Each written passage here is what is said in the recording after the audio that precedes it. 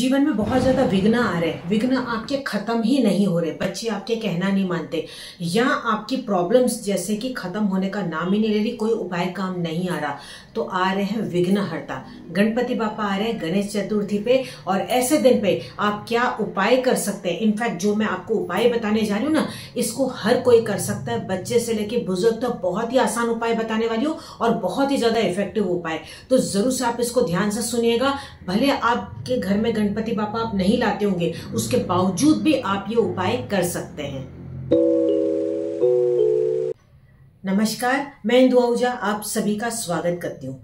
तो गणेश चतुर्थी स्टार्ट हो रही है 7 सितंबर 2024 जो कि शनिवार वाला दिन है, और जो ग्यारहवा दिन आएगा, वो आएगा 17 सितंबर 2024 ग्यारह दिन गणपति पापा रहते हैं हमारे साथ, ऐसे तो हमेशा ही हमारे साथ रहते हैं, लेकिन जो फेस्टिवल है, इन दिनों में मनाया जाता है।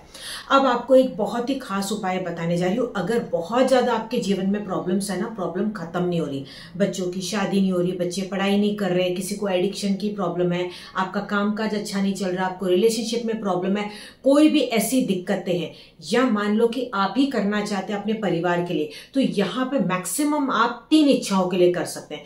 वैसे तो मैं कहूँगी आप शॉर्टलिस्ट करके एक इच्छा के लिए करेंगे तो उतना अच्छा आपका कॉन्सेंट्रेशन अच्छा होगा, लेकिन नहीं तो मैंने मैक्सिमम आपको तीन इच्छाओं के लिए बता दिया। अब यहाँ पे मैं आपको दो उपाय बताने वाली हूँ, दो इनफैक्ट मैं आपको ऑप्शन बताने वाली हूँ, इनमें से कोई भी आप एक कर सकते हैं। अगर आपका मन करे तो आप दोनों भी कर सकते हैं, और सच मानिएगा, जब आप ये करेंगे ना, आपको बहुत ज़्यादा अच्छा फीलिंग होगा और आप मुझे कुछ ही दिनों में कमेंट करके बताएँगे कि ये करके हमें बहुत ज़्यादा अच्छा लगा और आपको कनेक्टेड भी फील होगा। गणेश चतुर्थी है सात सितंबर को, ठीक है? तो सात नंबर किससे रिलेट करता है? रिलेट करता है केतु से। यहाँ तक कि वो स्पिरिचुअल हमारे वेलबींग से भी रिलेट करता है। तो अब आपको क्या करना है? आपको सात नंबर से गणपति बापा बनाने हैं। अब आपके मन में सवाल आ रहा होगा कि हमने तो कभी ड्राइंग किया ही नहीं, हम ये कर ही नहीं सकते। आप जैसे भी हो, आप उसको आसानी से बना सकते हैं। अगर आप कोशिश करें तो नथिंग इज़ इम्पॉसिबल यहाँ पे मैं आपको ड्राइंग भी बता दूँगी किस तरीके से आपको एक पेपर पे ड्रॉ करना है। कोई भी कलर की पेन से आप जितना आए ना, आप अपने हाथ से गणपति बापा बनाए। आप चाहें तो उनका चेहरा बना लें, आप चाहें तो पूरी बॉडी बना सकते हैं। यानी कि सेवन नंबर आपको पहले लिखना है और फिर आपको गणपति बापा रेडी करने हैं। अब ये आप तैयार करेंगे सात तारीख को। ठीक है? सात तारीख को आप ये रेडी कर लेंगे। फिर आपको क्या करना है? इसको आप चाहे तो कहीं पे भी अलमारी में भी छुपा के रख सकते हैं। डेली आपको ये कागज़ निकालना है और अपनी इच्छा को बोलना है। आप चाहे तो इस कागज़ में जहाँ आपने गणपति बापा बनाया, वहीं पे आप नीचे अपनी इच्छा को लिख भी सकते हैं कि, हे गणपति बापा, मेरी ये इच्छा है, मेरी इस इच्छा को पूर्ण करें। मैंने आपके ऊपर छोड़ा है। आप अपनी भाषा में लिख लीजिए। आपको मैंने कहा मैक्सिमम तीन इच्छा आप चाहे तो पीछे की तरफ़ भी लिख सकते हैं। आपको नहीं लिखना तो आप केवल बोल दीजिएगा। रोज आप कागज़ को निकालेंगे, रोज आप एक बार देखेंगे, आप इसको अपना छुपा के रख दे, पूजा स्थान पे रख ले। हर एक कोई चाहिए तो पर्सनल अपना ये तैयार कर सकता है। आप चाहे तो बच्चों से भी ये बनवा सकते हैं, बच्चों को बहुत ज़्यादा अच्छा लगेगा जब अपने हाथ से बनाएँगे और डेली अपनी विश वो बोलेंगे। ठीक है? बड़े बुज़ुर्ग हैं, उनको भी आप ये बोल सकते हैं, भले आपके घर गणपति बापा आते होंगे, हमारे घर पे भी आते हैं, लेकिन ये अलग से आपको एक पेपर इन दिनों में आपको तैयार करके रखना है। ओके अब ग्यारहवा दिन जब आएगा, यानी कि सत्रह तारीख को आपको क्या करना है, कुछ आपको चावल या अक्षत आपको ले लेने हैं।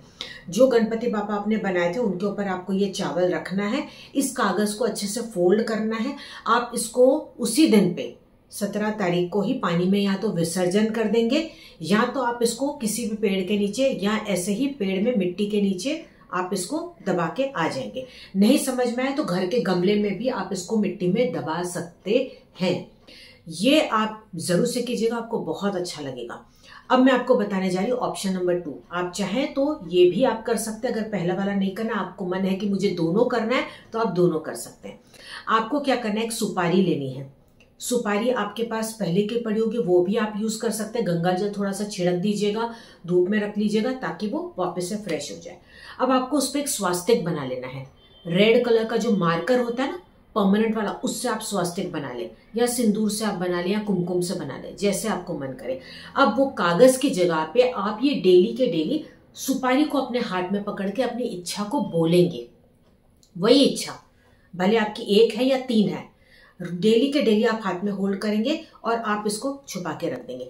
आपकी मर्ज़ी, आप चाहें तो अगरबत्ती या दिया दिखा सकते हो, वो आपकी इच्छा के ऊपर है। नहीं भी दिखाएँगे, केवल अपनी इच्छा बोलते देखिए मेन यहाँ पे आपके मन के विश्वास की बात है, आपके कनेक्शन की बात है। तो अगर आपने दिल से उनसे कनेक्ट किया तो भी ये काफ़ी है मोर देन इनफ है।